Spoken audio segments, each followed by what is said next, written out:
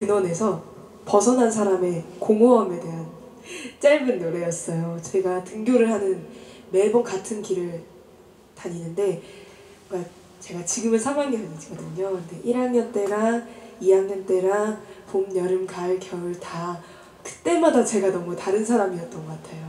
같이 걸었던 사람도 다르고 기분도 다르고 그랬다가 작년엔 그 길이 좀 저의 슬픔의 길이었었어요. 근데 올해는 그런 게 전혀 사라져 버리니까 행복한데 거기서 오는 묘한 공허함이라고 해야 할까요? 그런 기분이 들어서 아침에 등교하면서 이렇게 끄적여 봤던 노래였습니다.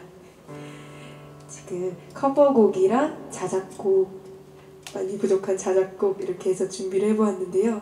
마저 열심히 해보겠습니다. 두 번째는 두 번째는 나도 그대에게 당신 같은 사람이 되고 싶어요 라는 긴 제목을 가진 노래입니다.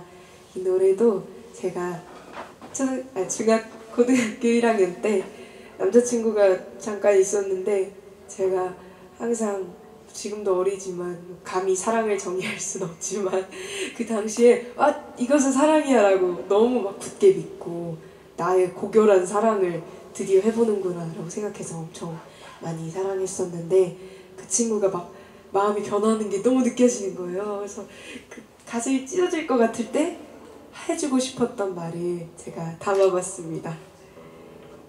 시작하겠습니다.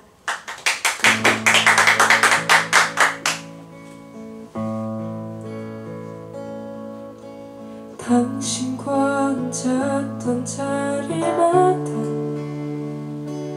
작은 마법을 걸어뒀어요. 우리 색이 옅어지더라도 그 옅은 색을 띠는 가장 아름다운 꽃이 될 수 있도록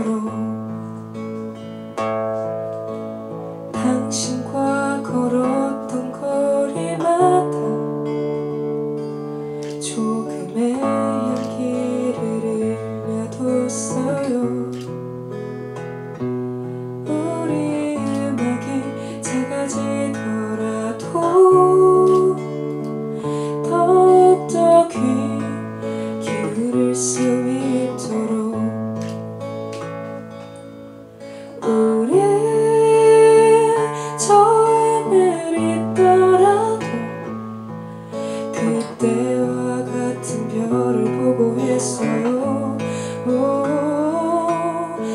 당신이 잡아준 손은 아직 식지 않았고 봄이 말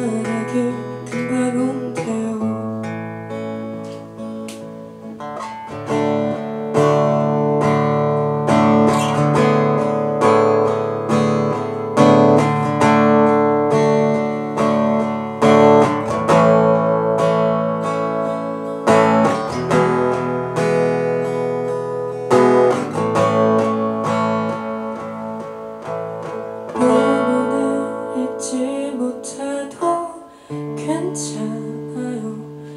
그냥 곁에만 있어주세요. 나도 그대에게 당신 같은 사람